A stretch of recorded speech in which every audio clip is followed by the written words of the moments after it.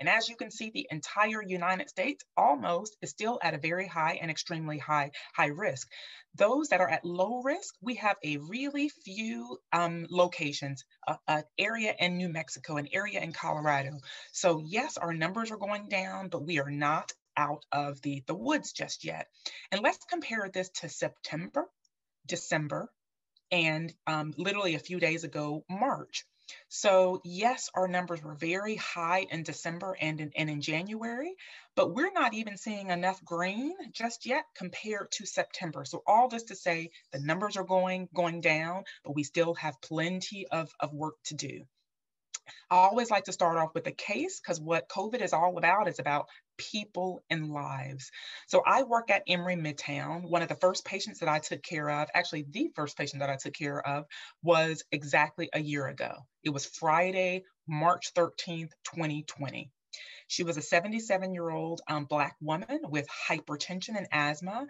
And she came to the hospital with, you know, a, a lot of shortness of breath. And she had been short of breath for, um, for um, a while, um, at least a couple weeks, had gone to two urgent care centers and finally made it to the, to the hospital. When she got there, her oxygen levels were low, 84% on room air, and you would want that to be well over 90 to 90%.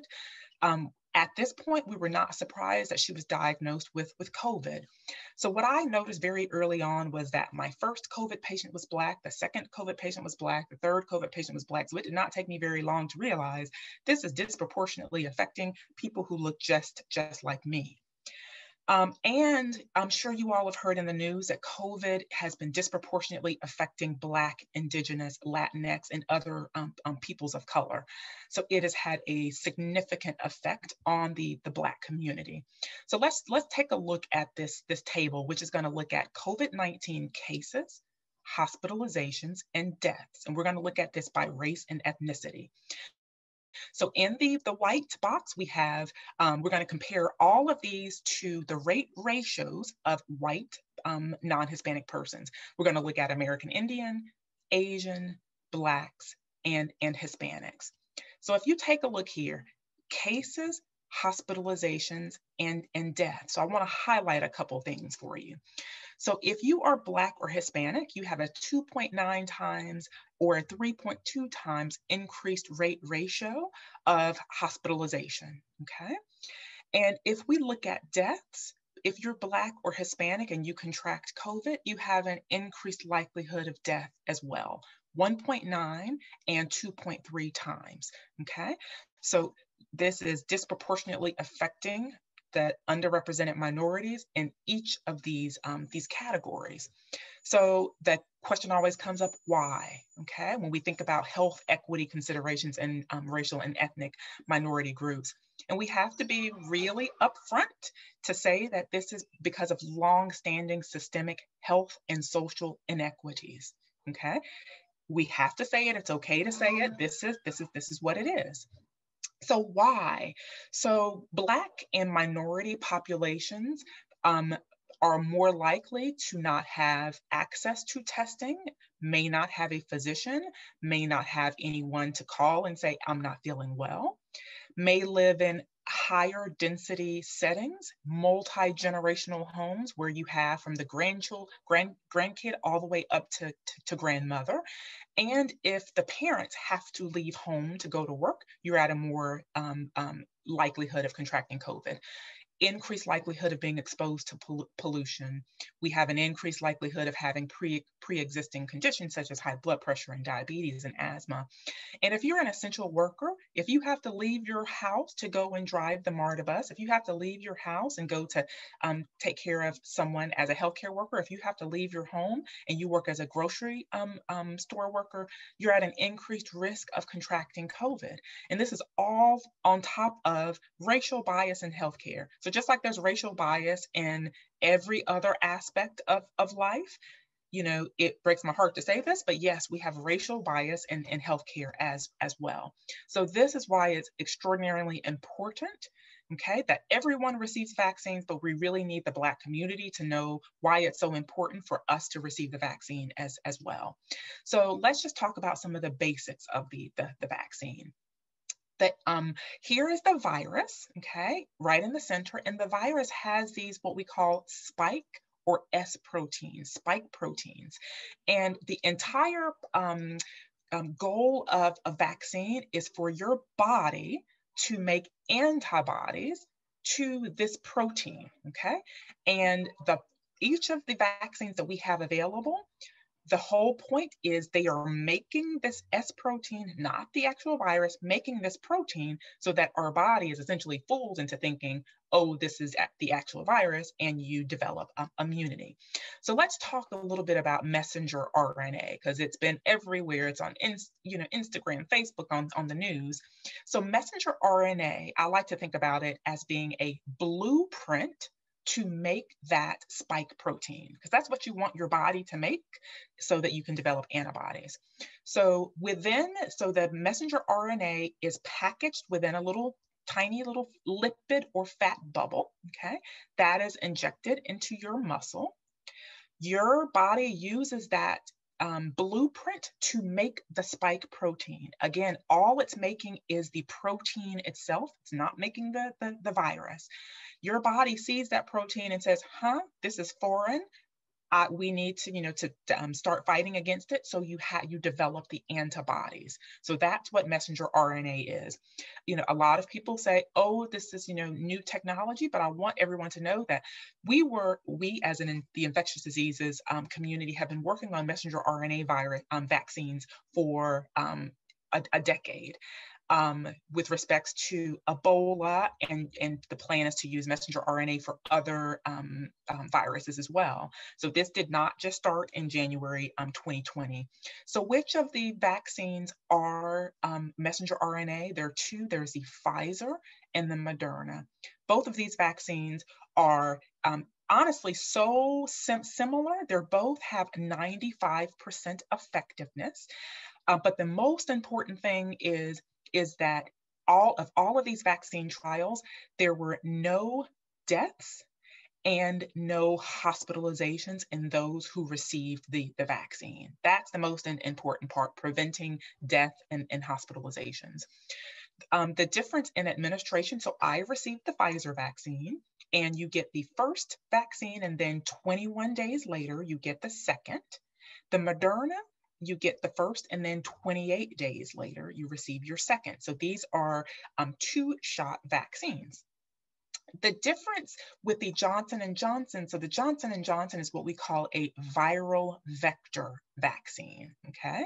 Which has been used for you know over 20 20 30 years for many many other vaccines.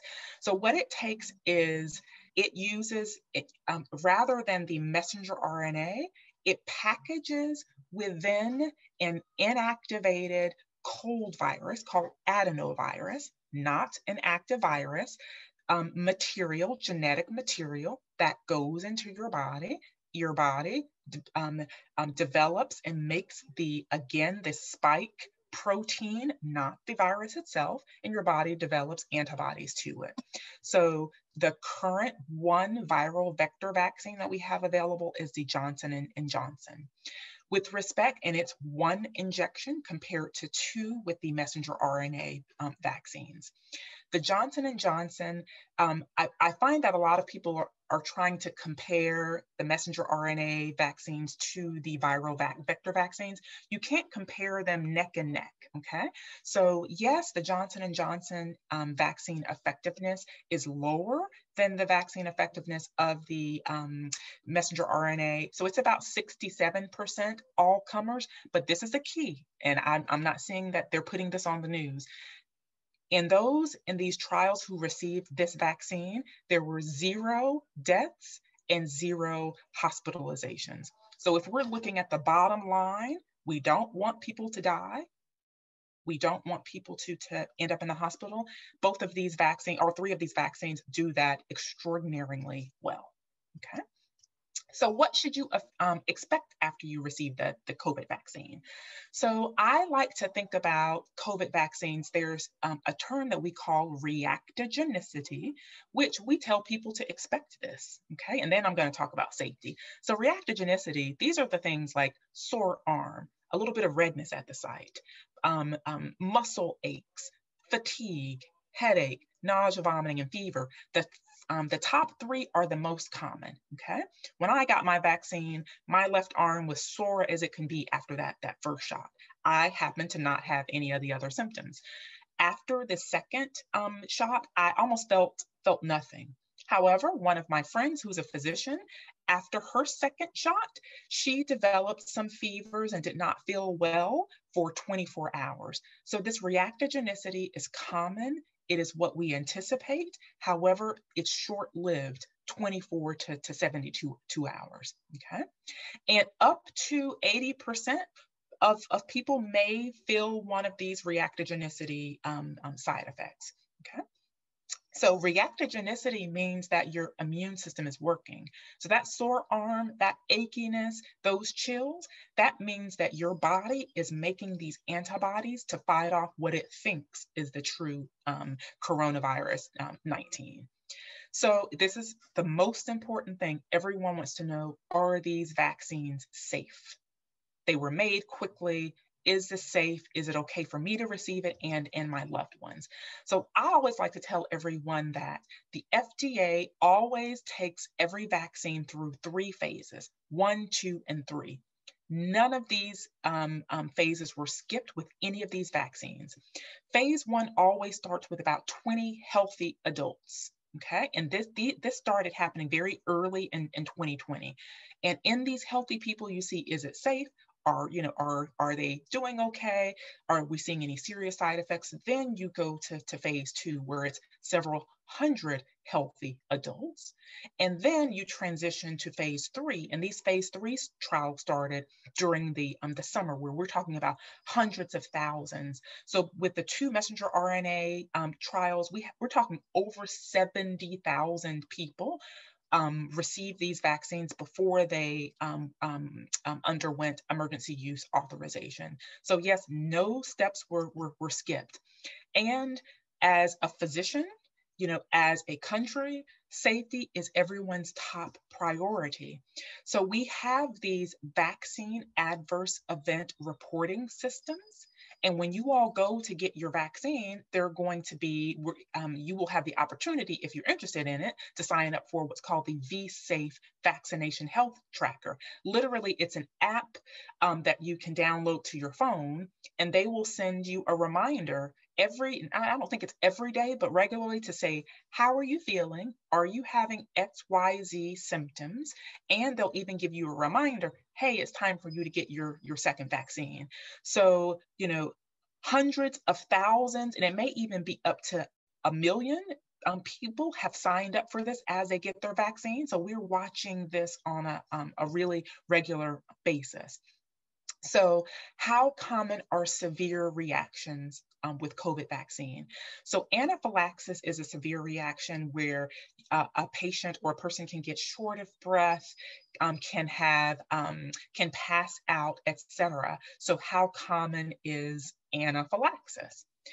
Um, very early on, again, remember, we're watching this really closely. So this is from the CDC MMWR looking at allergic reactions, including anaphylaxis, after the first dose of the Pfizer vaccine. And so literally as soon as these vaccines were given, within 10 days, you know, we're publishing data to say how, how common is this? So in those first nine days or so, there were 21 cases of anaphylaxis. The key here, no one died. Okay. They had a severe reaction. No one died. Um, and out of oh, almost 2 million doses. So this was 11 cases per million. Everyone survived. And all of this happened within the first 15 minutes. And then I'm going to tell you a little bit later that you will be monitored after you receive your, your vaccine. Did the exact same thing after the Moderna. Moderna was authorized we, you know, as in we, I say the infectious diseases co- community published really, you know, quickly, you know, how many adverse effects. So there were 10 cases out of 4 million. Okay. And I always like to give people a comparison because everyone thinks, oh my goodness, what if I'm one of those, those 10? So if you look at likelihood of other things, so out of a million people, two will be struck by lightning. Okay. 11 to 20 may experience an anaphylactic, anaphylactic reaction to these vaccines. 112 out of a million may die in a, in a car accident. However, the key is out of a, out of a million people, 1,214 will die from, from COVID. So if we kind of weigh the risks versus versus benefit, these are really rare reactions. And contrary to what you may have heard in the in the media, et cetera, about people dying from the, the vaccines, we have no evidence at this time that there have been deaths because of the, the, the vaccines. So all this to say these vaccines are, are, are safe. So I receive a lot of questions with people asking, what if I have a latex allergy or food allergy or pet allergies or environmental allergies or a medicine allergy? A lot of people with penicillin allergies ask me that. I have a penicillin allergy myself. Is it safe to get the COVID, COVID vaccine? The answer is yes, okay? Yes. But who should absolutely not receive these vaccines? So I'm going to show you the very very rare person who should should not so if you got your first dose let's say of the moderna or the pfizer vaccine and you had a really severe reaction you are someone who either should not get the second dose or what honestly what what we're doing if we know of someone who has had a severe reaction after the first COVID vaccine, we're sending them to an allergy specialist to have that allergy specialist weigh in and you know they may even be able to do graded dosing where they give you a tiny bit of the vaccine until you have um, um, response. And the other people are those who have had an immediate allergic reaction like anaphylaxis to something called polyethylene glycol. What is that? So polyethylene glycol is something that is within osmotic dire, um, I'm sorry, sorry, osmotic laxatives like Miralax. So unless you've had a severe allergic reaction to something like Miralax, you probably, not probably, you will, um, um, if you've had that severe reaction, you cannot get the, the, um, the, the vaccine. There's also something called polysorbate, which is um, in some medication. So let's say if you've had a severe reaction to a medication and you don't know if polysorbate is in it, call your pharmacist okay um, speak to your your physician so all this to say is there i don't there i don't know anyone who any of my patients or anyone who I've, I've, taken care of who fall into this this category where they cannot receive the, the vaccine so essentially almost everyone is um, is eligible um, in case you don't have health insurance or you know someone who doesn't have health insurance, if they want to know, can I still get the COVID 19 vaccine? The answer is yes. Cost is not an obstacle in getting vaccinated against COVID 19. They are free at the health department, free at mass vaccination sites. And if you get it at your healthcare pro, um, pro provider, you may be charged the cost to that to administer it, like there may be a nursing um, administration cost, but for the vaccine itself, they are free of charge. So what if you've already had COVID? Or, you know, you know that you have antibodies. Should you wait or should you not get the, the, the vaccine? So if you have um, had COVID before, or if you know you have antibodies, you are still eligible to receive them. Very early on, the CDC had stated, hey, if you've recently had COVID, wait 90 days before you get the vaccine. That has changed. There is no, you know, um, waiting period.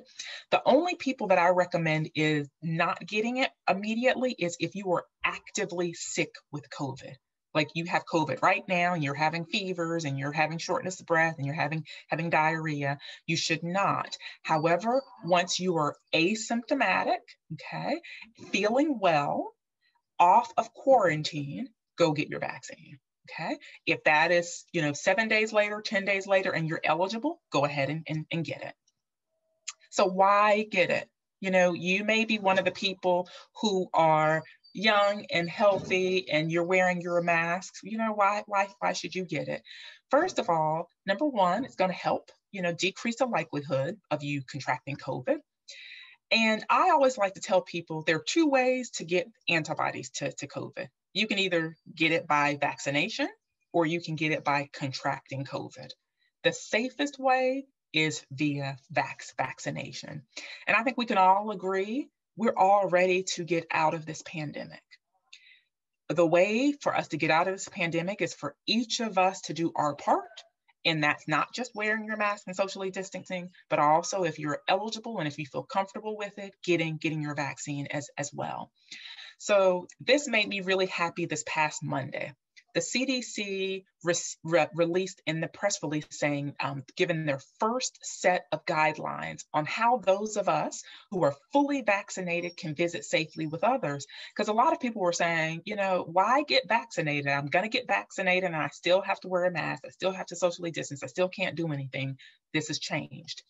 So fully vaccinated people, and, and by fully vaccinated, we mean two weeks after your second dose of the mRNA vaccines or the um, your one dose of your Johnson & Johnson. You can visit with other fully vaccinated people inside, no masks, no socially distancing. You can visit with unvaccinated people in, from a single household who are at low risk for severe COVID um, disease. And if you're exposed to someone you don't have to quarantine um, anymore. So what this means is I am fully vaccinated. Both of my grandparents right now are fully vaccinated.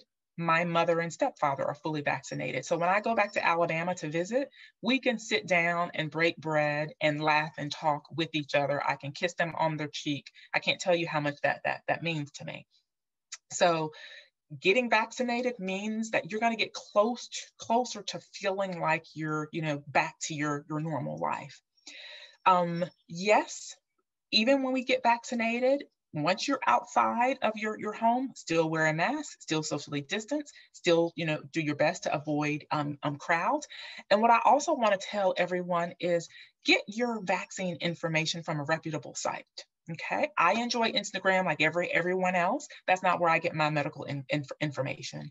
So I don't think a lot of people realize you can go to the CDC and get wonderful um, information that is, you know, not um, you know, med- medical language. This is for, you know, um, um, family. So if you want some vaccine information for you or your family, go to the CDC website. This is being up- updated really, really regularly you know, things to know, um, what to expect during your first visits, um, talks about severe in infection. So go to a reputable site to, to, to get your information. So you may be asking, when can I get mine? Okay, so, um, and let me tell you about Georgia and how we need to do do better and we can all do our, our part in this. So this was updated a couple days ago. So um, we're looking at um, the share of the population who's gotten at least one shot, okay? And those, that 21%, so that dark green are states that, you know, are, are really doing well. And over here, that light green, the lightest green are those who are, you know, kind of far behind every everyone else. So where is Georgia? Okay, so let's go up to the top here on the left. So in the U US total, 19%, this was a couple days ago, have received at least one shot. Georgia, so the highest, we have to give it to Connecticut, Alaska, South Dakota, okay? Where 26% of their population has received at least one shot.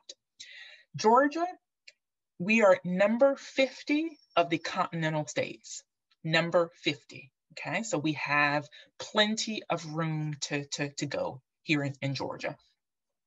So um, I'm gonna kind of tell you when you can get, get your vaccine, but um, go to the Georgia Department of Public Health. It's a wonderful um, resource. So just Google Georgia, Georgia Department of Health COVID-19 vaccines, and it's a wonderful full site.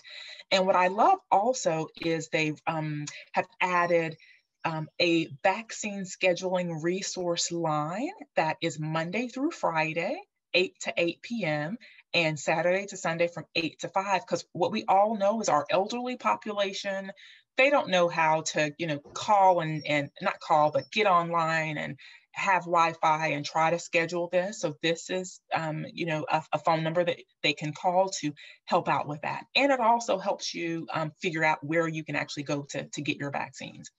So as of this week, okay, as of, of today, healthcare workers, law enforcement, fire personnel, first responders, residents of long-term facilities, those who are over 65.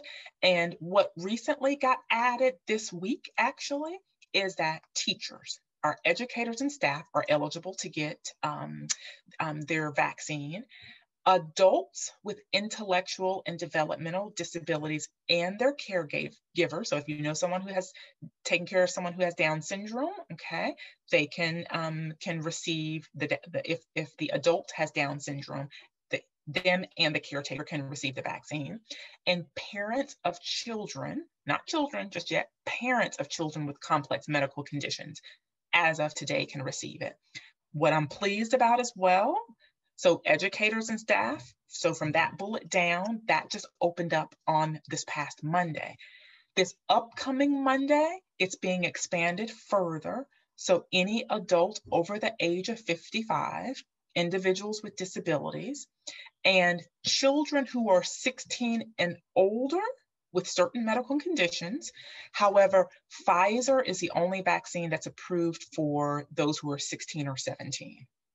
And what are those conditions of the children? Okay.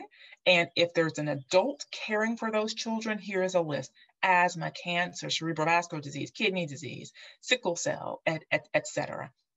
So again, the um, child has to be 16 and older with one of these medical con con conditions, and Pfizer is the only one that's approved for 16 and 17 year, year olds. Okay, so if you're attempting to um, schedule and you want to make sure that um, a, a child the 16 year old can receive it, you have to make sure that the Pfizer is being offered at that vaccine site. So here in Georgia, CVS, Walgreens, and some of the Georgia mass vaccination sites do have Pfizer vaccine. So yes, Georgia, we're way behind, but we opened up some, you know, new categories this past Monday and opening up the, you know, other categories um, um, in two days on this upcoming Monday. So when you go get to get your vaccine, what should you expect when you when you get there? So whether you go to an occupational health clinic or if you if you go to um, um, a mass vaccination site, etc., you will be socially distanced. Okay, you will have to wear your your mask. You will receive this little vaccination card that will say what vaccine did you get, what lot, what day. Okay, they're going to give you a fact sheet they're going to give you the ability to sign up for that V-Safe tracker. And it's really important, everyone, to know that you're going to be monitored at least 15 minutes. And if you've had a severe reaction in the past, like anaphylaxis to another, you know, with um, any other medication, they're going to make you sit down for, for 30 minutes, socially distanced. And then there are nurses and EMS um, personnel who may be walking around. So these severe reactions, if they're going to occur, they usually occur within the first 30 minutes. So everyone wants to know about the variants. Um, how are these going to affect the response to the to, to current vaccines? So um, let me just kind of lay, lay down the line. As an infectious diseases physician, variants and mutations are not unexpected. We knew this was gonna, gonna happen. This is what viruses do for a living. They want to mutate so they can continue to be around to you know, in, infect us. So yes, there are variants, okay? Every location is not testing for them, but this is the key that I want everyone to know. So far, studies suggest that antibodies generated through vaccination with our currently authorized vaccines recognize these, these, these variants. So we're monitoring this, this really closely. Are there variants? Yes. Will they be will there be more variants? Likely, likely so. But should that delay us getting our vaccine? Absolutely, absolutely not. So I've told you how COVID has disproportionately affected Blacks and Hispanics and other minority communities. So let's look at who is receiving the vaccines thus, far. So we all know it is important for everyone to get their vaccine, especially our, our Black communities and those who are really being disproportionately affected by this. So as of a couple days ago, of 62 million um, um, people with one or more doses, we have race and ethnicity information for half of, about half of them. So let's start up top. If you're Hispanic or Latino, you make up 18% of the general US population However, only 8.5% of those who've received vaccines thus far. If you're black, if you're like me, you're black, we make up 13% of the US population. However, only 7.2% of those who are, um, are receiving vaccines. Why? It is not just because of vaccine hesitancy, okay? I'm kind of getting a little frustrated by continuing to hear, oh, it's just because Black people don't want vaccines. That's that that's not the entire um, reason why. It's also because we have to ensure that underserved communities have access to the, the, the, the vaccines outreach and education, which is why I'm, I'm passionate about, about educating. So back to Mrs. Jones. So of course I would never show you all the actual picture of a, a, a patient. So this is my grandmother. She is my why, why it, getting vaccinated is so important. On the left is my mother. So my why of getting vaccinated is because I want to protect my grandmother. I want to protect my, my mother. And I'm sure that that is your why as well. You want to protect your, your, your loved ones. And also we have to think about just loss in America. Over 500,000 of our fellow Americans, Black, white, Hispanic, children, teachers, preachers, you know, we have to stop this, this, this, this loss. So thank you very much for your for your attention. I really look forward to using the, these next 20, 20 or so minutes to answer any questions and you know any hesitation that you all may have. So thank you. Thank you so much. Um, so we already have a handful of questions in the um, in the chat, so I will start with those. Um, the first one that just came in was, are these vaccines approved by the FDA? So can you talk a little bit more about that? Absolutely. So each of these vaccines have gone through what we call emergency use author authorization. Okay. So in almost most medications and most vaccines, um, many will go through this, this, this process where you have emergency use authorization. And what that means is we are in a global emergency and waiting the time that it would would need to have the quote unquote full FDA approval, we cannot risk that because of the number of, of deaths. Okay, so did the FDA you know, have input with respects to the emergency use authorization? Of course they did, a absolutely. So are they fully FDA approved? No, they're, they're, they're, they're not. Have they gone through um, emergency use authorization? And this is with, you know, vaccine experts, physicians, um, et cetera? Yes. Thank you. Um, and then a couple of questions about children. So has the vaccine been tested on children?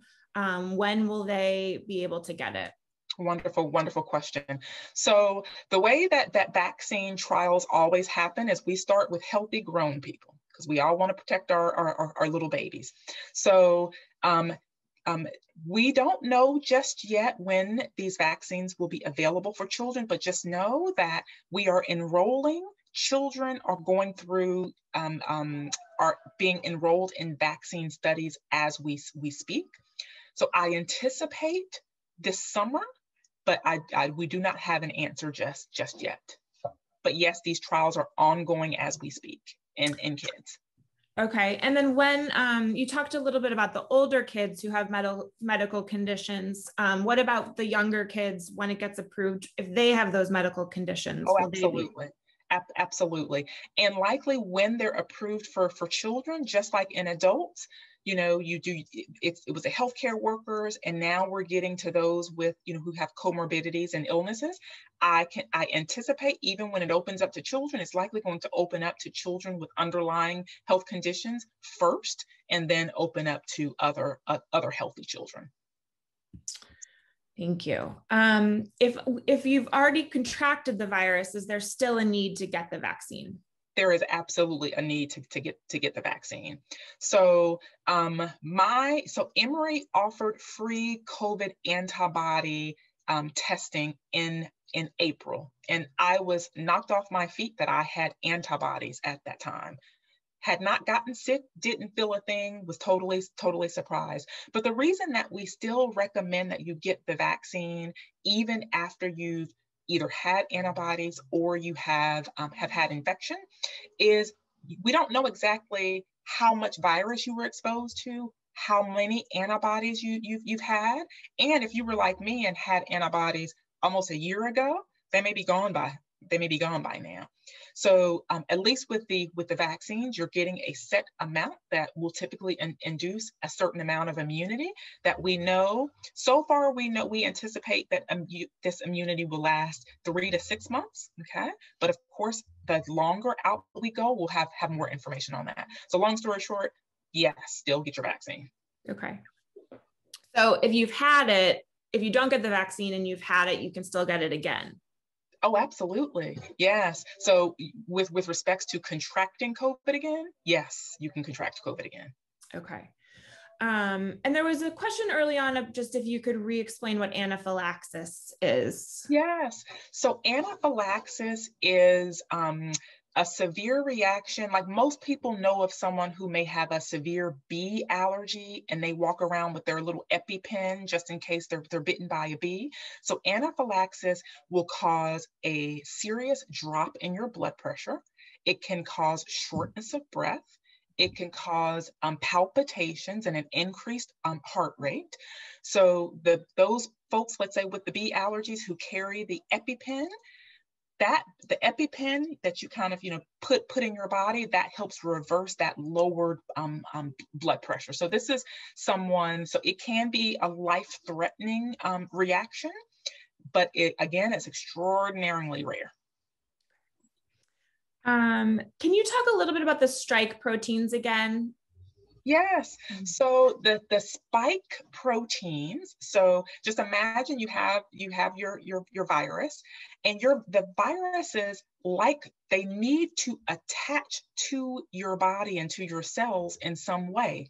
And that spike protein, all those little proteins that are kind of sticking out, that's how it attaches to the cell to to, to get in. So um, and we know that all of the coronaviruses irrespective, even those who, um, even with the, the variants, they all make that spike protein. So what you want is these vaccines stimulate your body to only make that spike protein. Your body even recognizes that spike protein as foreign and starts making those, those, those antibodies. So even though your body has not seen the actual virus, it is fooled into thinking it, that it's the actual virus because it sees the, the, um, the, the spike protein. So um, that's the target for essentially all of these, these, these vaccines. And you, what we want is our body to make antibodies to that protein. Okay. So why do you need two shots for the Pfizer and Moderna and just one for the Johnson and Johnson? Ex excellent question. So it's because they're two completely different types of, of, of, of vaccines. So with the um, the messenger RNA um, vaccine, so again, what you want is um, as high of efficacy as as possible. So a lot of people have kind of heard through the grapevine too, like, oh, just get one, and that's that that that's good enough. So the after what I like to tell people is after the first dose of Moderna or Pfizer, you may get yourself up to about 50% effectiveness. You want more than that. After you get your second back vaccine, about a week to a week and a half to two weeks after that, that's when you get up to the, the, the 95%. So it's different because they're two different platforms of, of vaccines. And then with the viral vector, like the Johnson and Johnson, it's it's it's it's the one shot. So what I tell people, you know, they may ask, well, which one should I get? You know, should I just kind of, you know, wait around and only get the Moderna or the, the, the Pfizer? What I recommend is getting the first thing smoking, the first thing that is is is available. If the Johnson and Johnson had been available in December, that would have been the, the one that I would have um, received. Some people who are super afraid of needles and already don't want to get the, the, the, vaccine, you may get the Johnson and Johnson. You know, let's say if, if, if you have, if we have a population that it may be more difficult to find them again or get them again, maybe our homeless population, you know, if we can get you and get one, and you know, if, if it's difficult for to, to find that homeless person again, at least we've given given them the, the, the one. So the answer is whatever is available, that's the that's the one that I would recommend. Um, so as a follow-up, is there just to reiterate, is there any chance that you could get COVID after you've had the vaccine? And if so, how would that change your experience? Absolutely. So um, again, nothing in medicine, honestly, not much, not much in life is a 100%. So the um, knowing that the Moderna and Pfizer are like 95% effective. So remember, that just leaves a, a really slight chance that you may contract COVID. But again, remember, no one died who have who's received the vaccine and no one's been hospitalized okay um, and what i love about the johnson and johnson also is when we talk about asymptomatic um, carrier so let's say i get the vaccine and I get laxed and I'm out, you know, partying and, and, and, and et cetera, can I, I can contract COVID, unlikely, less likely, but I can contract it and pass it on to someone with a suppressed immune system who's, you know, older, et, et, um, et cetera. So to, to answer your question, yes, you can contract it. It is unlikely and less likely that you contract it if you were to contract it, you can still feel really reassured that you will not die or go to the hospital. And with the Johnson and Johnson, we have evidence that you will be a lot less likely to even transmit it to someone else, even if you're asymptomatic.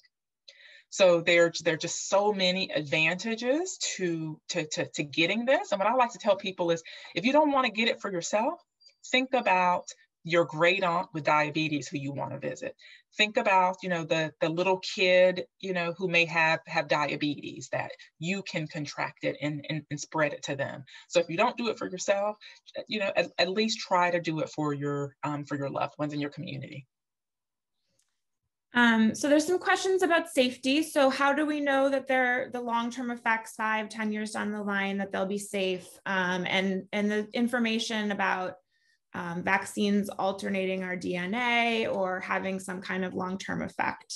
Um, there's some concerns.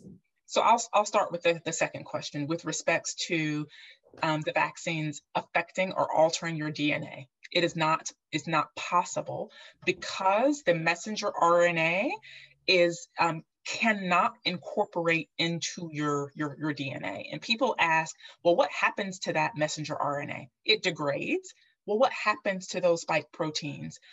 Like all proteins in your body, they they degrade and completely go away. So there's no integration into your um, into your um, your DNA. With respects to you know how do you know if um, if 10 years from um, down the line we're gonna you're gonna have a, a problem so what we do have plenty of evidence for is we have over 50 years of research with other other vaccines so the long-term effect issue with vaccines, it just doesn't, it, it, it, doesn't happen. It's extraordinarily rare, like one in, in millions.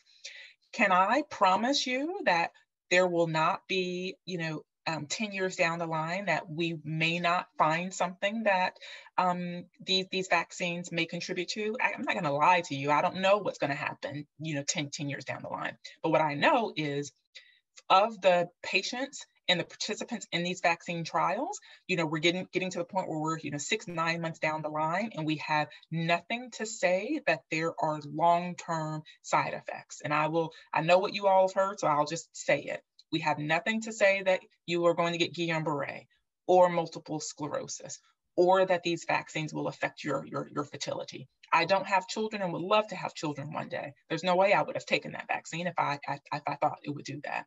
If you are pregnant, even the American College of Obstetrics and, and Gynecologists, what they say is, it from these are the gynecologists talking. It is okay for you to receive the um, the, the, the vaccine. Um, if you're breastfeeding, it is okay for you to receive the vaccine.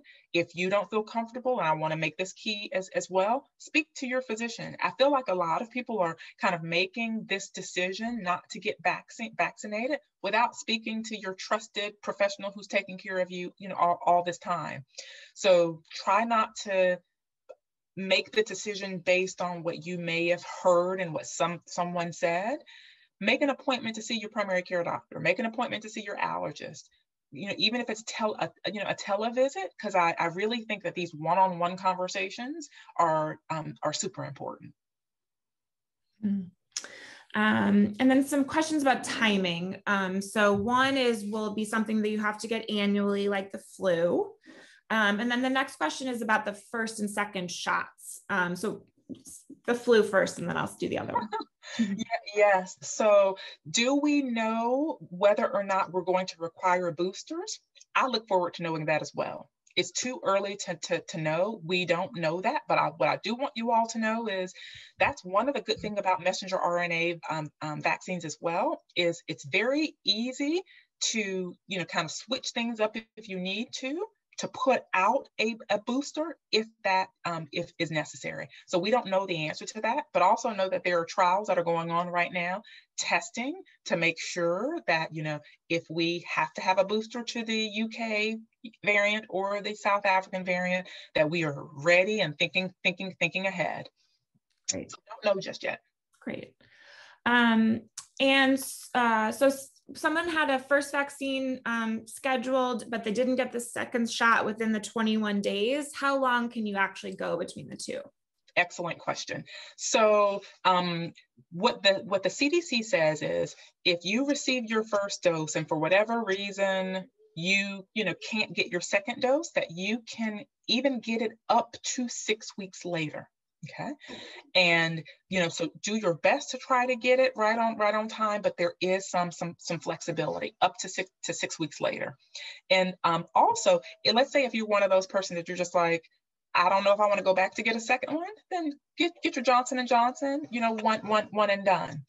Um, another point that um, um, I really want to bring up is the importance of separating your vaccine by two weeks from other types of vaccines. So let's say you want to get your flu vaccine as well. You have to separate these by um, 14 days for any other vaccine, whether that's a shingles vaccine, flu vaccine, you know, other other boosters can't can should not be within two weeks. Two weeks. Okay. Mm-hmm. Um, how would you recommend talking to kids and asking if they'd consider volunteering for the vaccine trial? One excellent question. So one of my um, colleagues who does public health, and she is a physician, but not a practicing physician, um, um, reached out to me and said, Hey, I think I, she's a Black woman, I think I'm interested in enrolling my 14 year old in a, in a trial for, for vaccines. How do you feel about this? If you had children, would you, would, would you do it? And she, you know, felt kind of encouraged to do this because she's a Black woman. We've seen how this has ravaged our community. And the only way to know how these vaccines are going to work in Black people is by some Black people and some black people with their children being agreeable to, to, to get the, vac, the, um, the, the, the, vaccine. So what I would say is if I had a child, I would feel comfortable with my child receiving it, primarily because I know that there would be a 50-50 chance that they would actually get the real get the real deal. Yeah. So, you know, there's a 50-50 chance that, you know, they they would be the first ones to um to um to get the vaccine. And um also, and I know I come from this from a, a different place because I, I am in the medical feel, but I just see, I've, I can't tell you how it's broken my heart to see everyone who has contracted COVID seems to look like me or like my grandmother or like my, my loved ones. So I take this very personal and it is important. You know, moving forward, I plan to enroll myself in, in, in future trials. I couldn't enroll in the vaccine trials because I somehow ended up with antibodies very, very early on. So I think you should, you know, talk to your children to say, you know, this tell me how you feel about especially if they're old enough to kind of think think things through is this something that you would be would be interested in? Um, you know of course when they go to enroll etc there will be a lot of edu- education as, as well. Yeah. You know if they're able to make their own decisions and don't feel comfortable with with doing that i definitely would, would not. Okay um, and then what can we do as citizens to improve the racial disparities in regards to getting this vaccine? How can we support our communities? Thank you so much for, for, for asking. So what I would say for at the moment, let's say if you were 30 years old and you're healthy as can be and you know you're going to be at the at, at the end of this this line do you know of, a, of an older person in your community or in your church who may not have someone who can help them get their, their, their vaccine. You can be that advocate for them.